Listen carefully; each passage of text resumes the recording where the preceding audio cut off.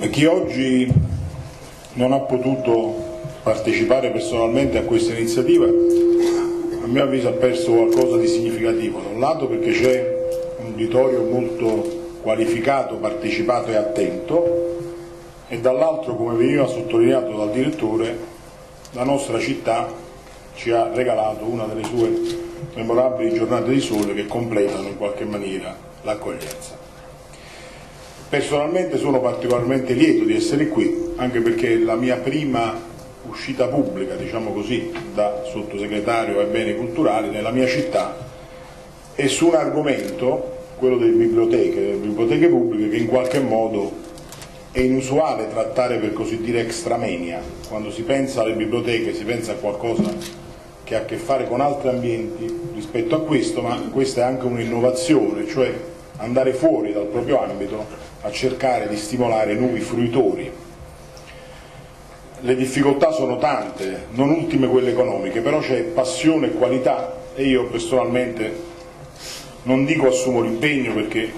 è un argomento abusato, ma insomma vorrei essere presente e disponibile, spero anche capace di sostenere lo sforzo di una dirigenza sempre appassionata. Anche le biblioteche sono diciamo, ad una svolta, devono conciliare, mettere insieme da un lato un patrimonio ricchissimo, straordinario, unico al mondo, il nostro patrimonio, quello del nostro paese, di tutte le biblioteche che sono disseminate nel nostro paese, l'innovazione, un'utenza che cambia, che usa la rete, che usa l'informatica e anche quella parte che è sottratta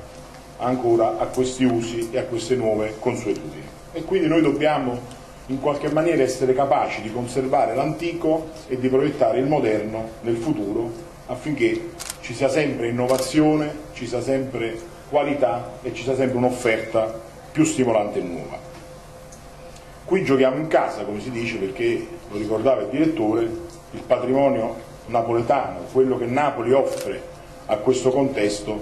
è anch'esso un patrimonio straordinario, quello della Biblioteca Nazionale,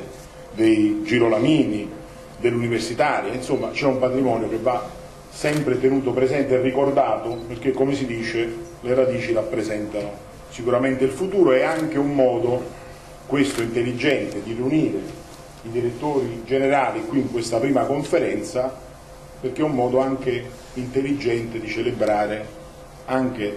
con questi eventi il 150 dell'Unità d'Italia che si è anche realizzato attraverso le biblioteche. Questo patrimonio anche prima del risorgimento. Quindi io ringrazio tutti gli organizzatori, ringrazio voi, ringrazio il direttore generale Fallace, il suo staff, lo staff della Biblioteca Nazionale. Io ci tenevo particolarmente ad esserci e a non limitarmi soltanto ad un ringraziamento. Devo alla sensibilità del Ministro e all'impegno anche del professor De Caro se posso anche portare un piccolo segno concreto e tangibile cioè il Ministro ha ieri firmato, io lo lascerò poi qui, un decreto che attribuisce alla Biblioteca Nazionale un contributo, una somma di 200.000 euro che in qualche maniera andrà a sostenere il completamento dei danni che impedivano la fruizione di alcune sale e che così potranno essere recuperate al pubblico. Mi sembra anche...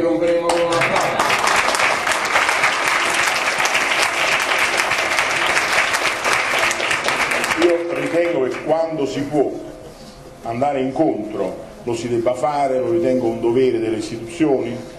e quindi è un applauso che facciamo a tutti noi, a noi stessi, nel senso per essere tutti quanti stimolati a fare sempre meglio. Io non lo dico ritualmente, veramente mi rammarico di poter essere qui con voi ancora un po', poi dovrò andare via, ma ci tenevo, nonostante la mia presenza fosse stata richiesta soltanto nelle ultime ore, a non mancare a questa occasione e auguro a tutti voi un buon lavoro.